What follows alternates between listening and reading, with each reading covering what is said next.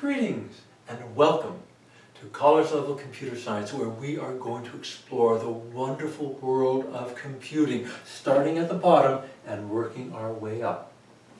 We should begin by looking at simple digital logic.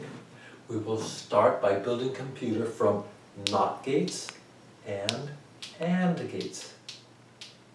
We will then use that computer to explore how different languages lay out their data in memory and execute operations on it.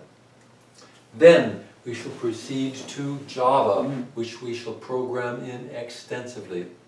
Our final project will be a multi-threaded web server with dynamically loadable apps of your creation. When you start at the bottom, learning a new high-level language is relatively straightforward. You just need to figure out what the syntax is that gives you data layout and the operations that you already know you want. Knowing Java makes learning Python and C and C++ relatively easy thing. I have taught variations of this course at both Stanford and Tufts University, along with numerous corporations and conferences. It is a lot of work, but it is well worth it.